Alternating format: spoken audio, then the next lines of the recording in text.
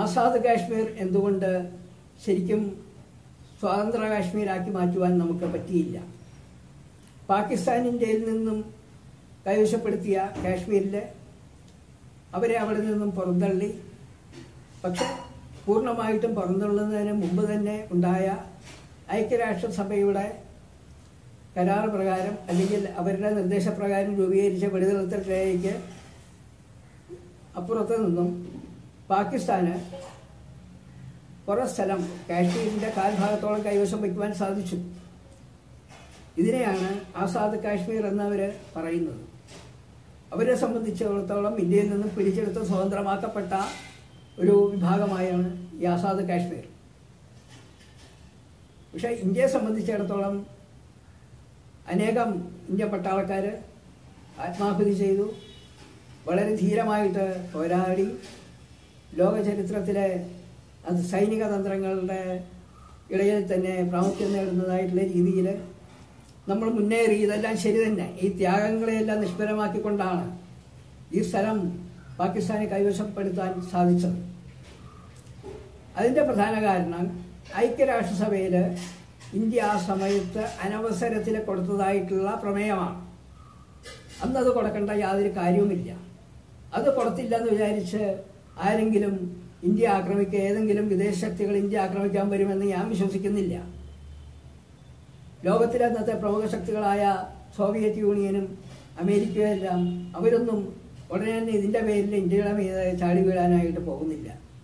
പിന്നെ ഈ ദുസ്സാഹസം എന്തിനെ കാണിച്ചു?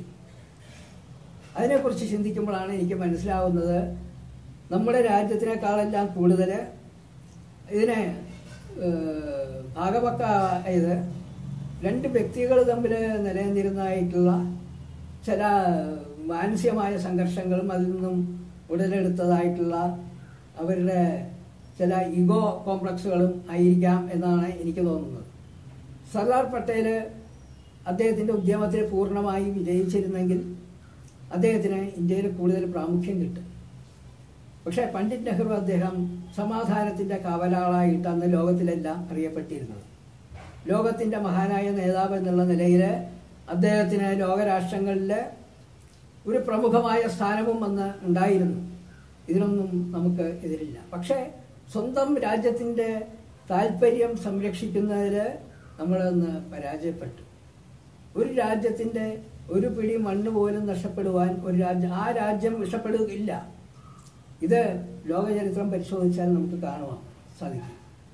ഇന്ത്യയുടെ അന്ന് ഇന്ത്യയുടെ ഭാഗമായിരുന്നില്ലെങ്കിലും നമ്മളോട് സഹായം ആവശ്യപ്പെട്ട കാശ്മീർ എന്ന ആ രാജ്യത്തിന്റെ കാൽഭാഗം പാകിസ്ഥാന്റെ കയ്യിൽ പെട്ടുപോയത് ഈ രീതിയിൽ ആണെന്നാണ് എനിക്ക് മനസ്സിലാക്കാനായിട്ട് കഴിഞ്ഞത്.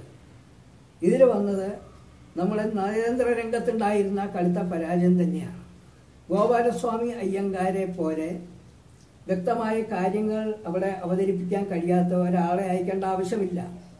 ഒന്നാമത്തെ കാര്യം പ്രമേയം അവതരിപ്പിച്ചതിന്റെ അയക്കാൻ പോയത് തന്നെ തെറ്റ്. നമ്മളൊന്നും തന്നെ ചെയ്യണ്ടായിരുന്നു. നമ്മൾ യുദ്ധം തുടരണം. ഒരാഴ്ച ചെയ്തിരുന്നെങ്കിൽ കാശ്മീരിൽ നിന്നും പൂർണമായിട്ട് ഈ ആസാദ് കാശ്മീരിൽ നിന്ന് ഉണ്ടാവില്ല. ഇനി ഈ പ്രശ്നം ഇവിടെ ഉണ്ടാവില്ല.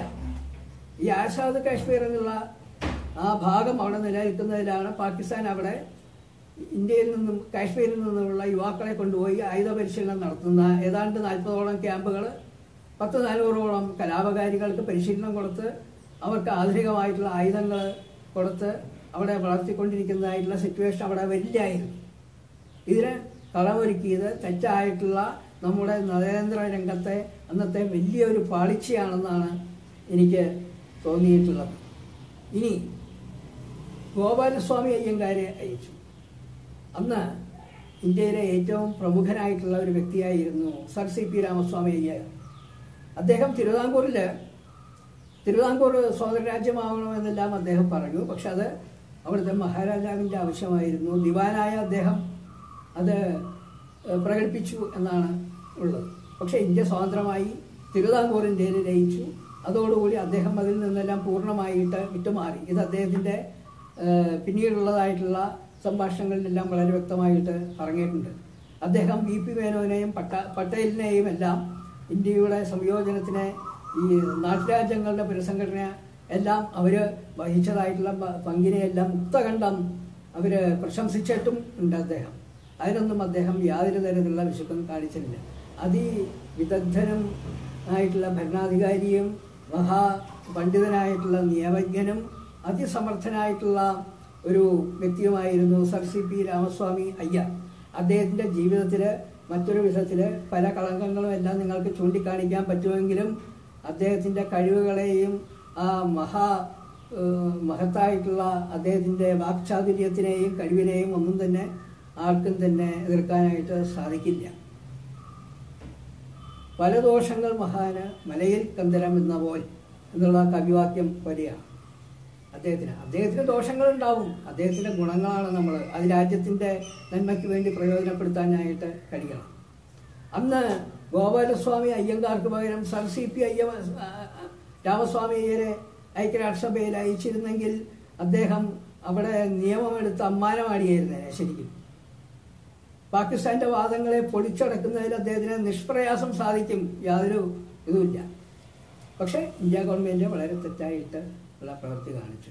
ഇതിൽ മഹാത്മാ നമ്മുടെ പ്രധാനമന്ത്രി പണ്ഡിറ്റ് ജവഹർലാൽ നെഹ്റുവിന്റെ പങ്കിനെ കുറിച്ച് വളരെയധികം വിമർശനങ്ങൾ ഉയർന്നിട്ടുണ്ട്. ഇന്നും ആ വിമർശനങ്ങളെല്ലാം നിലനിൽക്കുന്നു. കാശ്മീരിന്റെ കാൽഭാഗം പാകിസ്ഥാന്റെ കയ്യിൽ പോയത് ഇതുപോലെ തന്നെയാണ്. എന്നാൽ പിന്നീട് ഈ കാശ്മീരിന്റെ ഭാഗമായിരുന്നോ എന്ന് നമുക്ക് വ്യക്തമായി പറയാൻ പറ്റില്ല. വ്യക്തമായ ഒരു പേരോ രൂപഘടനയോ എന്നുമില്ലാത്ത ഒരു ഭൂപ്രദേശം ഇതിനോട് തന്നെ കൂടിച്ചേർന്ന് കിടക്കുന്ന ഉണ്ടായിരുന്നു. അതിനെ കാഫറിസ്ഥാൻ എന്നെല്ലാമാണ് പറഞ്ഞിരുന്നത്. ഈ സ്ഥലത്തിന് ജിൽജിച്ച് ചിത്രാൽ ജിൽജിച്ച് മേഖല എന്നാണ് ഇതിനെ പറയുന്നത്. ജിൽജിച്ച്. ഈ ജിൽജിച്ച് പ്രദേശത്തു നിന്നുമാണ് ഇതുപോലെ തന്നെ മറ്റുള്ള വിദേശ രാഷ്ട്രങ്ങളിലേക്കുള്ള കവാടങ്ങൾ തുറക്കുന്നത്. അതുകൊണ്ട് അത് വളരെ തന്ത്രപ്രധാനമായ ഒരു പ്രദേശമായിരുന്നു. ഈ കാശ്മീരിന്റെ കാൽഭാഗം പാകിസ്ഥാൻ കൈയടക്കി. അതിനോട് ചേർന്ന് കിടക്കുന്ന ഈ പ്രദേശം അവർ ഇതിന് ശേഷമാണ് പാകിസ്ഥാൻ പട്ടാളം അവിടെ കടന്ന് കയ്യേറി എന്നാണ് പറയപ്പെടുന്നത്. അതെങ്ങനെ സാധിക്കും? ആ പ്രദേശം നോ മാൻസ് ലാൻഡ് ആയിട്ടാണ് ഇരിക്കുന്നത്. അങ്ങനെ പാകിസ്ഥാൻ പട്ടാളം ഒരു ദിവസം പെട്ടെന്ന് കയറുന്ന കയറി കയ്യേറി എങ്കിൽ. അപ്പോൾ ഇന്ത്യയിൽ ഒരു ഗവൺമെന്റ് ഇല്ലേ? ഇന്ത്യ ഗവൺമെന്റ് എന്തുകൊണ്ട് അതെല്ലാം നിശ്ചയം നിശ്ചലം അവർ നോക്കി നിന്നു? അല്ലെങ്കിൽ ഇതിനെക്കുറിച്ച് അവർക്ക് ബോധം ഉണ്ടായിരുന്നില്ലേ എന്നുള്ള ചോദ്യം കൂടി വരും. ഇങ്ങനെ നിരവധി പരാജയങ്ങൾ നമുക്ക് പറ്റിയിട്ടുണ്ട്. അതൊന്നും കണ്ടില്ലെന്ന് നടിക്കുന്നതിന് അർത്ഥമില്ല. ഇന്നും കാശ്മീർ പ്രശ്നം പുകഞ്ഞുകൊണ്ടിരിക്കുന്നതിന്റെ ഒരു കാരണം ഇതാണ്. പിന്നെ രണ്ടാമതൊരു കാര്യം കാശ്മീരിൽ ഇതുപോലെ തന്നെ കാശ്മീരിന്റെ മുക്കാൽ ഭാഗം ഇന്ത്യ വിമോചിപ്പിച്ചു. ബാക്കി കാൽ ഭാഗം ഇന്ത്യയ്ക്ക് വിമോചിപ്പിക്കാൻ പറ്റിയില്ല. ഇതിൽ വിമോചിപ്പിച്ച കാശ്മീർ ഭാഗത്തിന് എന്തായിരുന്നു? ഇവിടെ മറ്റുള്ള രാഷ്ട്രങ്ങളെ അപേക്ഷിച്ച് മറ്റുള്ള സംസ്ഥാനങ്ങളെ അപേക്ഷിച്ച് അതെല്ലാം ഇന്ത്യൻ യൂണിയനിൽ ലയിച്ച സംസ്ഥാനങ്ങളാണ്. എന്നാൽ ഈ കാശ്മീർ കാശ്മീർ എന്ന രാജ്യത്തിന് ഒരു പ്രത്യേകതയുണ്ടായി. അവർക്കൊരു പ്രത്യേക ഭരണഘടന ഉണ്ടായിരുന്നു. അവിടെ രാജഭരണം ഉണ്ടായിരുന്നു. അവിടെ പ്രധാനമന്ത്രി എന്നുള്ള സ്ഥാനമാണ് ഉണ്ടായിരുന്നത്. ഷെയ്ഖ് അബ്ദുള്ള പ്രധാനമന്ത്രിയായിരുന്നു കാശ്മീരിന്റെ. അവർക്ക് പ്രത്യേക നിയമങ്ങൾ ഉണ്ടായിരുന്നു പ്രത്യേക കോടതി ഉണ്ടായിരുന്നു.